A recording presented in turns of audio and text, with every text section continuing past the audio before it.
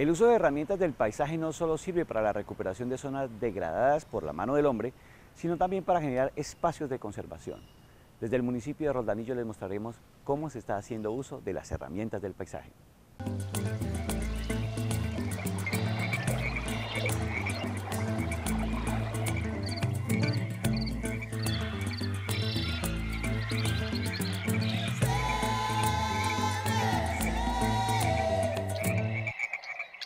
Cuentos Verdes. Presenta la Corporación Autónoma Regional del Valle del Cauca, comprometidos con la vida. La restauración de espacios de importancia ambiental que han sido mal manejados ha sido una prioridad para la CBC desde hace varios años. En Roldanillo se viene trabajando en un sector que es productor de agua para varios acueductos a través del uso de herramientas del paisaje. En este predio están en este momento haciendo un trabajo de aislamiento, de protección de nacimientos de agua. Este predio cuenta con cinco nacimientos de agua, los cuales surten tres acueductos veredales y del municipio de Roldanillo. Sí, lo que buscamos es nuevamente hacer la, reconversión para la flora nativa. ¿sí? Lo que pasa es que como son, son predios que, que se nota que digamos tienen muy diferentes la parte que es la zona de los nacimientos con una ganadería extensiva, entonces lo que queremos es buscar hacer la conectividad de todos esos relictos boscosos, de todos esos bosques riparios donde hay diferentes cantidades de, de especie, entonces lo que queremos buscar es que se conecten a través de esos parches boscosos con la conectividad a través de las herramientas del manejo del paisaje que vamos a trabajar en este predio y en los otros predios también.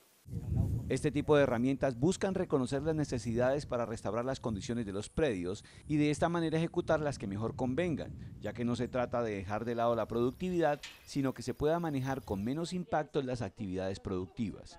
Estas implementaciones se harán en diversos lugares del norte del valle.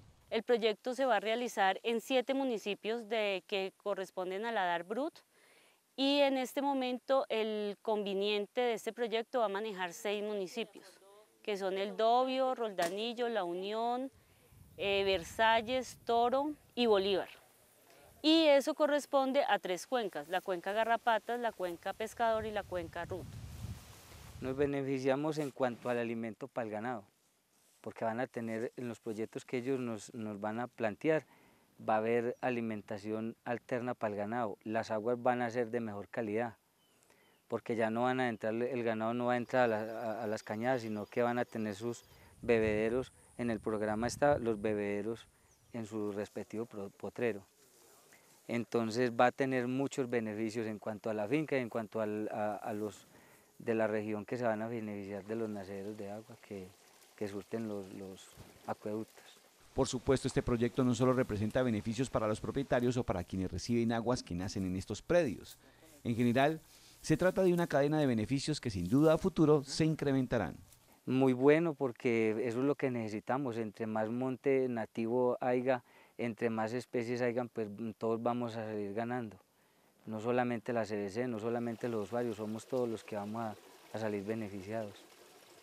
Yo pienso que el proyecto está un 100% bueno. Para el 2017, eh, toda la vigencia son 49 kilómetros de aislamiento, son 109 hectáreas de sistema silvopastoril, son 27 más o menos de, bosque protector, 28 de bosque de uso doméstico. Cada herramienta, digamos, en su, macro tiene bastantes hectáreas o kilómetros según la, la conversión, para poder llegar a trabajar. Entonces lo que buscamos es eso, que en diferentes predios podamos focalizar todas esas herramientas y que quede un trabajo bien, bien hecho. Si usted desea conocer más sobre el uso de herramientas del paisaje en el municipio de Roldanillo, comuníquese con la oficina de la corporación al teléfono 229-0010.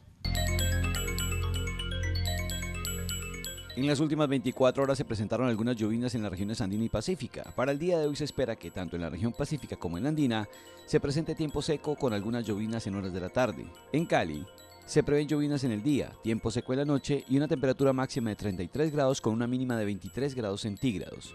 Los caudales del río Cauca permanecieron estables en Puerto Mayarino, Juanchito y Anacaro con tendencia decreciente en Media Canoa y creciente en La Victoria con niveles de medios a bajos para este mes hidroclimatología de la CBC que usted puede consultar a través de la página www.cbc.gov.co. Cuentos Verdes. Presentó la Corporación Autónoma Regional del Valle del Cauca, comprometidos con la vida.